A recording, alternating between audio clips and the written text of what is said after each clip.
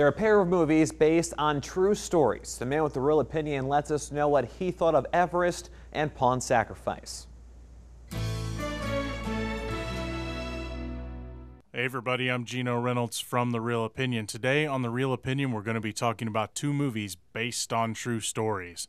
One is about a group of climbers trying to conquer Everest. The other is about an eccentric chess player. Here are a couple of quick reviews for two films that you may want to consider or not consider checking out.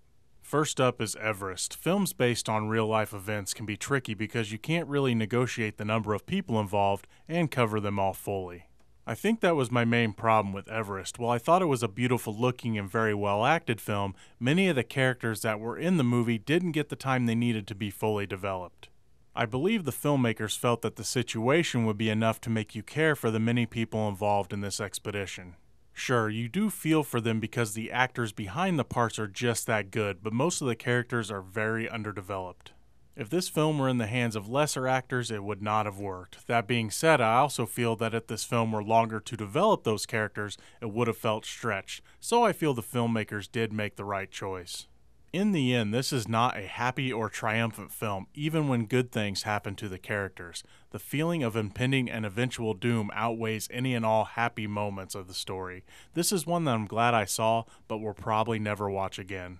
Next up is Pawn Sacrifice. I have been interested in American chess player Bobby Fischer ever since seeing the film Searching for Bobby Fischer. Now, I'll never be good at chess, but the idea of people being that good at a game intrigues me. Pawn Sacrifice shows what Bobby Fischer possibly went through mentally for a lot of his life. It shows the paranoia that he may have dealt with, feeling he was being followed, his rooms being bugged, the Russians were out to destroy him, etc. It's pretty compelling stuff, but it is also the problem with this movie. Near the end, the film almost abandons these sayings during what is labeled the biggest match of his career. You don't look well, Robert James. Fischer is suddenly able to focus in a situation that he was never able to focus in before. At times, the story tries to convince us that maybe Fischer is faking his condition to throw the Russians off their game, but his character clearly has a mental condition. He acts certain ways when he is alone that he wouldn't if he were faking. Still, this is a pretty compelling film with some pretty good acting.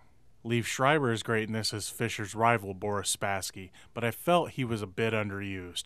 I mostly liked this one despite the minor missteps near the end. But remember, it's only just one guy's opinion. I'm Geno Reynolds from The Reel Opinion. Until next time.